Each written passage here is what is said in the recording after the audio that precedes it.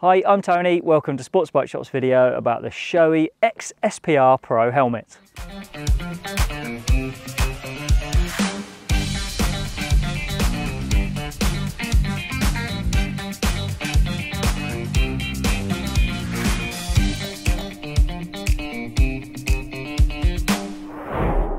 New Shoei race helmets only come along every six or seven years, so this is important. It's important for Shoei, obviously, and also important that I get this review right because it's going to be hanging around for the next seven years. After 20 years of X Spirits 1, 2, and then 3, this X SPR Pro helmet is an evolution from that X Spirit 3. It's got a very similar ethos, but there are also some quite significant changes. This one here is an early production model and we've been given sneak access so we can assess the helmet before it hits the shops in September 2022. I've spent around 300 miles wearing this one on the road and we'll run through the essential details as well as giving you an idea of what I think of it. The shell for this helmet is made from the same AIM Plus material as the X Spirit 3 which is a composite of different fibres to deliver the right blend of protection and lightweight. We weighed this helmet in size medium on our scales at 1479 grams, which is 72 grams more than an X Spirit 3 when we weighed it last year. But I think anyone would be hard pushed to say they can feel the extra 72 grams of weight. The XSPR Pro is approved to the new 2206 standard for the road, making this the second Shoei with that approval after the NXR2. It's also approved by the FIM for use in international racing and Shoei's MotoGP and main sponsored riders at the TT have already been wearing it at those events. That FIM approval might explain the marginal extra weight as this is a remarkably stiff and reassuringly stiff helmet for protection in those higher speed impacts that racers often have to deal with.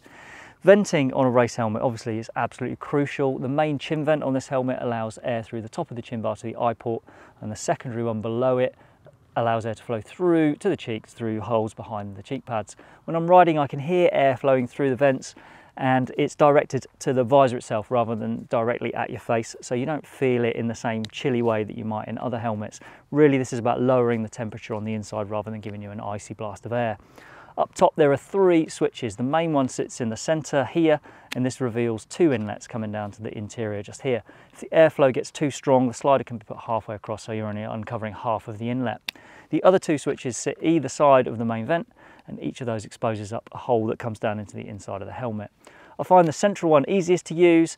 The two on the sides are a little bit fiddlier, but actually when you're riding along with gloves, it's not too bad. Anyway, this is a race helmet and realistically a racer will set those vents up before the start and then just leave them like that. You don't tend to see someone hammering down the main straight in Mugello with their left hand in the air trying to open up a vent really, do you?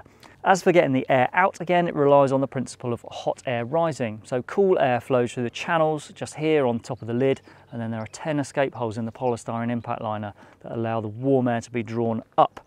Air then gets into the scoop and is drawn away through four outlets on the channels. You get two on each side just here and then there are also exhaust vents that run directly from the back of the lid to the outlets just inside the air stabilizer here. The aerodynamics are a big part of the story with the XSPR Pro, but I'll get onto those later in the video. One of the changes that will be most obvious for riders who are switching from an X Spirit 3 to this helmet is the visor. It's Shoei's CWR F2R, which is a racier version of the one on Shoei's NXR2. It mounts in the same way, but first of all, it's flatter to make it more suitable for visor tear-offs. Those are the things that racers use to get rid of bug splats in a hurry. And there's an extra element of security to stop the visor coming off in an impact, which I think is part of that FIM racing approval that I mentioned earlier. If you flick the red lever on the base plate towards the bottom of the helmet, then it disables the release lever for the visor, helping it stay in place when it's most needed in a crash. If you're getting frustrated and you're wondering why your visor won't come off when you're trying to change it, before you start tugging at it and grabbing it and ripping it off, just check that that lever's in the right place. It just needs to be raised rather than lowered. Now the visor lowers in five stages from fully open until it touches the bottom seal and then you push it down to semi-lock it in place on a lip just under the visor ledge here. To fully lock it, this tab then slides over and that stops the lifting part from being able to lift the visor up. To release the lock, slide that tab back out of the way and then push the section underneath the lip just here to release the half lock. I did find that a bit fiddly, especially when I first started wearing this lid, but quite a few helmets now have an arrangement similar to that, and you do get used to it after a little bit of use. The sliding lock tab has a second function as well. If you slide it towards the center of the lid before you lower the visor, then it will block off the last few millimeters of travel just around here. This gives you a little bit of airflow to the inside, which can be very welcome on a warm day like we're having today. On the outside of the visor, you get posts for the tear-offs that I mentioned earlier, and on the inside you get the Pinlock pins. The Pinlock insert is included in the box with this helmet, and it's a Pinlock Evo. To anyone else, that's a Pinlock 120, but for some reason, Shoei call it a Pinlock Evo? Either way, it's the highest grade of protection against mist that you can get. The visor retains the vortex generators on each side, which are designed to push air away from this part of the helmet and stop the lid from getting too noisy. So on that subject, I wouldn't normally comment on noise, but I'm going to break that rule on this occasion. This isn't the noisiest helmet I've worn, not by any stretch of the imagination, but nor is it the quietest. The noise that you personally experience will always depend on the way a helmet works in your particular conditions. Things like the bike you ride, the kit you wear, your riding style, and also a load of other factors. But what I will say is that expecting a race helmet like this to be quiet is a bit like expecting a Ducati Panigale to be comfortable. You might find this quiet, just as you might find a Panigale comfortable but Shoei wouldn't really have had a quiet ride on top of their check sheet for the XSPR Pro because it's not a high priority for racers. If quietness is a big priority for you, then really you're taking a gamble if you buy a race lid like this.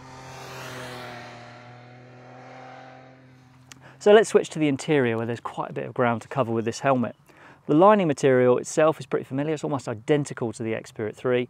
There's a softer brushed fabric where the helmet's going to be dragging over your face a lot and then there's a lighter material around the top of the head. The cheek pads can be swapped out for different sizes to adjust the fit.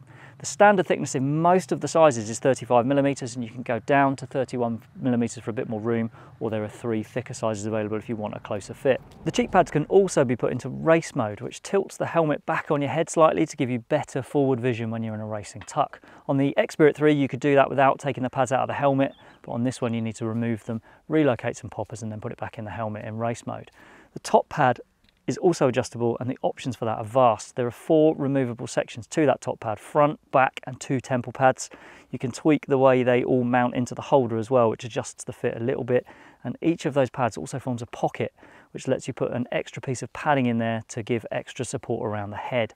You can do the same on the very top of the head as well. So if you want the fit to be absolutely just so, then there are all sorts of combinations you can try to get it spot on for you. As well as removable cheek and head pads, the covers for the chin strap come out for washing.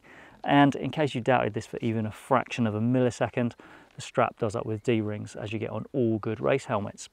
Behind the cheek pads there are recesses for intercom speakers. A pair of Sena speakers sit in there perfectly and a pair of 40mm Cardo speakers will also sit in there but they do end up sitting slightly proud of the recess. There's enough room on the shell as well for the comms module. Uh, I'd suggest using a self-adhesive mount as I don't like the way the clamp mounts slot between the shell and the impact liner. They lever the shell and the EPS away from each other and it's not a particularly tidy solution. Another new addition for the X SPR Pro, there's a recess right in front of the mouth where you can clip in the tube and the bite valve for a hydration pack. Shoei are saying they'll be adding a specific accessory part for a hydration pack somewhere along the line that's designed to work with this helmet. There will be some additional parts in the box as well. The breath guard that we've got fitted to this helmet, you might find that's in the box rather than pre-installed. And then you have a choice of two parts for the base of the chin bar. The lower air spoiler, which I've got fitted to the helmet here, that deflects air away from the chin, or there's an optional chin curtain as well, which isolates you from the cold air as it flows around the base of the helmet here. Right, let's do the sizing and approvals. This helmet is approved to the new ECE 2206 standard for the road and by the FIM for international racing. It's too early to say that this helmet's ACU gold for UK track use, but if it doesn't get that gold stamp, then I'll eat one of these splattered with the world's hottest chili sauce all over it. It's the same story with the UK government's sharp impact tests. They are never done until the helmet goes on general sale, so we don't know what sort of rating it's going to get yet. But the last two X Spirits both notched up five star ratings from Sharp, and if this one doesn't get the same, then I'll be absolutely staggered. Sizing. This lid comes in sizes from extra small up to double extra large. There are four shell sizes to cover that range. Helmet sizes extra small and small share the smallest of those four shells, and medium and large get their own shell, and then XL and double XL share the biggest shell. The last bit to talk about is price. The X SPR Pro will be released in three plain colours initially, that's gloss white, matte black and gloss black. It'll be £699.99 at first for the gloss colours and matte black will be £719.99. Graphic designs are going to follow in March 2023 and they'll have a list price of £899.99. So those are the details, let's get down to what it's like to wear. I've used this helmet for 300 or so road miles since it arrived and it offers typical Shoei quality. Everything about it feels really well made and finished. The shell is a work of wonder really and it creates a reassuringly stiff construction. The lining is very comfortable. It's really identical to the X Spirit 3. So if you've used one of those, you know exactly what you get and you can tweak to your heart's content if you like. Although thankfully for me, I just stuck this standard size medium on my head and it felt like it had already been custom fitted for me. The peripheral vision is absolutely superb, especially in the upward direction, which is most important when you want to look ahead in the tucked position. The venting draws in a decent amount of cooling air, though it's designed to work best in a tucked racing position, so road riding is never going to get the best from that venting. The approvals for the lid, ECE 2206 and FIM, are also the, the highest available.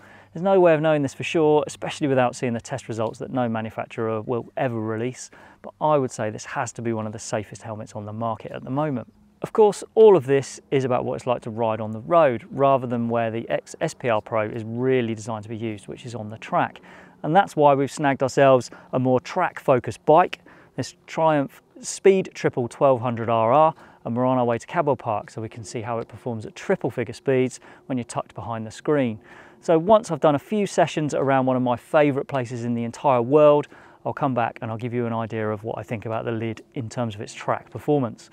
I know it's a difficult job, but someone's got to do it.